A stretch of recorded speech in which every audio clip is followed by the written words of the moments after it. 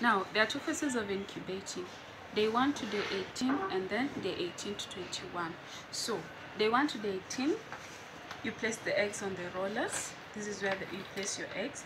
The rollers, they turn automatic, which in return turns the eggs. For the rollers to turn, you have to connect this motor to the upper part of the incubator like that so that the controller will send the signal to the motor to turn the eggs when it's time to turn. Just on the sides this is where you add water okay?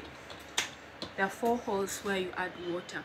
So you can either decide to use one opening or just distribute the water to the to all the the four openings. But i suggest you put water the two ends. So this one and this one here. Because because of the circulation of air so that it's heated faster. Day 1 to day 18 the eggs are with the rollers. When it gets to day 18 you transfer them from the rollers okay? But before i get to that water. How much water do you need? So day 1 you add 50 ml of water okay? Add 50 ml of water let the machine run for one hour before you place the eggs okay? Now once the machine has, has gone for one hour you've add you've placed your eggs it's already turning everything is okay. When do you add water again? So this is what guides you okay? This is the humidity reading this is the temperature reading. So for the temperature reading usually it ranges in between 37 point 8 to 38 so you don't have to worry about this. The incubator controls on its own. For the humidity it keeps on changing depending with the amount of water that is inside the incubator. So anytime from day 2 to 18 anytime the this goes below 45 you add 50 ml of water anytime. So this is what guides you on at what time to add water. Anytime it goes below 45 from day 8 to day 2 to day 18 so long as it's below 45 you add 50 ml of water. When it gets to day 18 you transfer the eggs from the rollers to the hatching net so you disconnect this and then you remove the rollers as you can see and then you place the eggs on the hatching net. So this is the hatching net you are removing the eggs from the rollers, placing them on the hatching net because of two reasons.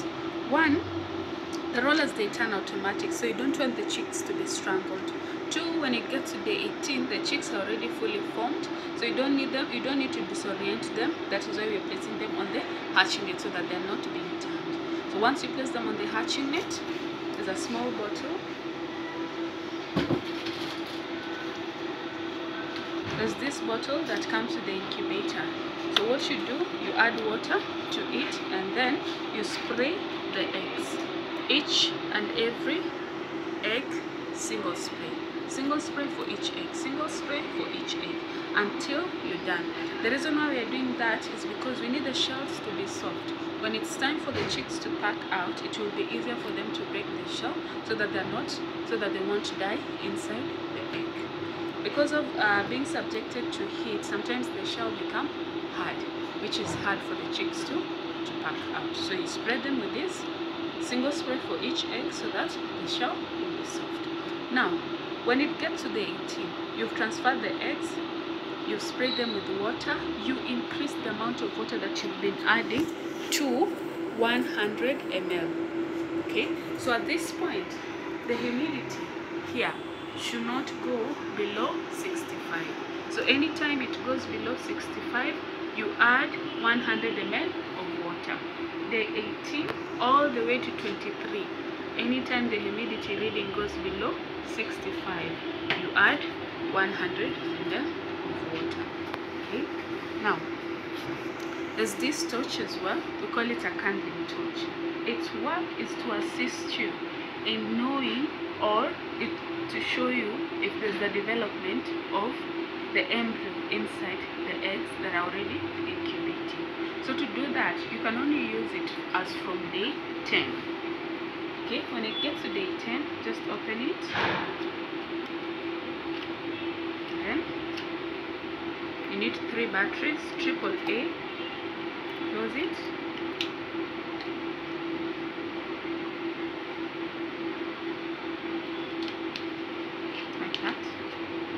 then you press here. So once you press it it will be lighting up so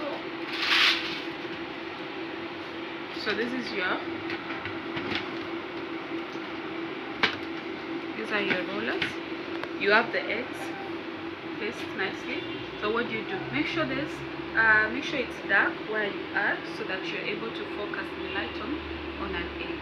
So what you do just press it and then illuminate the egg. It will show you what is inside usually by day 10 there's a formation of blood veins and a black spot inside.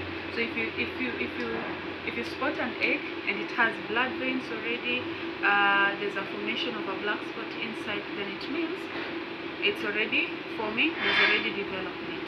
But if the if you spot an egg and there's no development inside there's no blood